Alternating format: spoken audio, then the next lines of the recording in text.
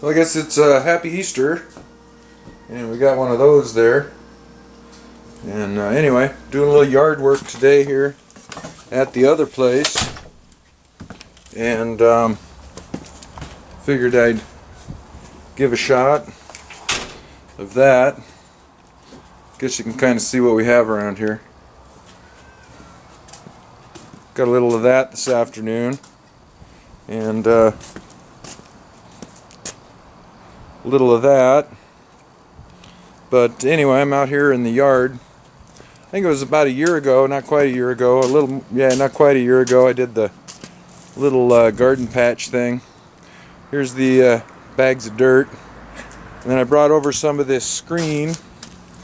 Uh, I don't know what they call it, anyway. Some uh, free stuff I had laying around. But uh, we got our garden patches started here. This is the uh, south side, but about not quite a year ago I did a little thing about what they were building next door. Anyway, now we have those.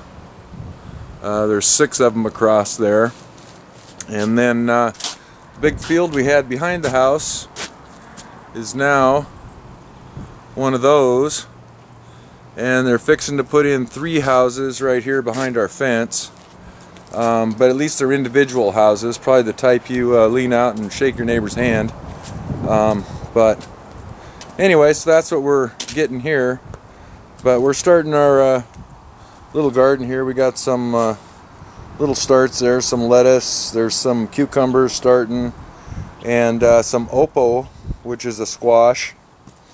But uh, some wintered over onions here. And uh, those onions will get dug up here.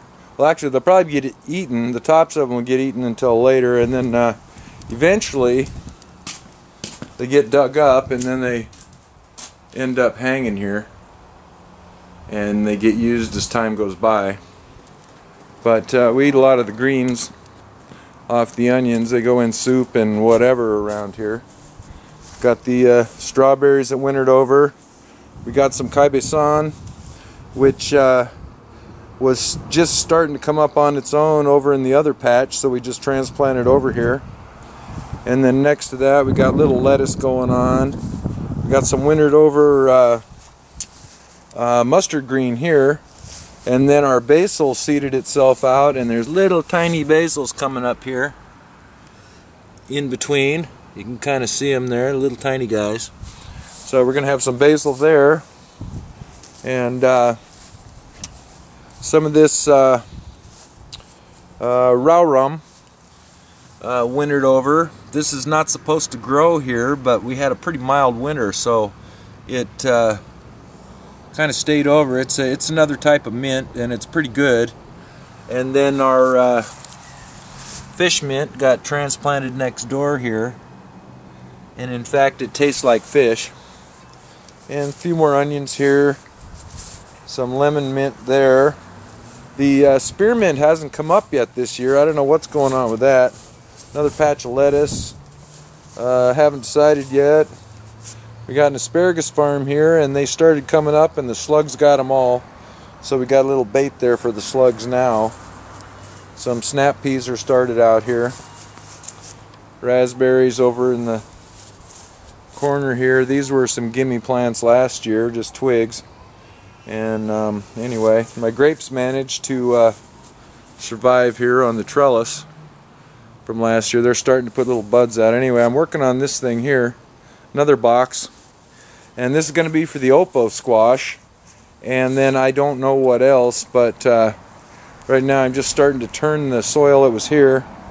I pulled all the sod off and I got to get rid of that. I'll take it over to the beetle barn and lose it in the woods or something over there but turn this over and then those bags of dirt will get mixed with what's here and a little manure and it'll be some good soil. But uh, I'm gonna build a frame here plant the squash at the far end and build a frame um, the far end there is the north side and the squash will climb towards the sun up the frame and then over the top. So it'll be like a canopy of squash and then underneath there in the rest of the dirt we can plant some other smaller uh, type plants that want to just hang out down on the ground And I have to build something similar for cucumbers this year. And the Rick Fix is the one who got me uh, thinking about growing the squash and stuff uh, upward. And then I did a little research on the web, and in fact, you can do that with pretty much any vine. Just uh, build a frame, and that way you don't use quite as much real estate on the ground for growing your squash, you know, because the squash plant takes up, oh, foot, foot in diameter area, but it sprawls all over the place. So you might as well sprawl it up and out of the way and grow something else underneath it.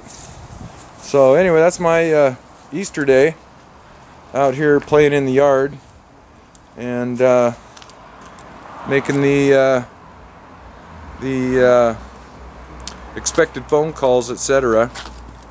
And uh, that's it. Happy Easter, everybody. And um, thanks for watching.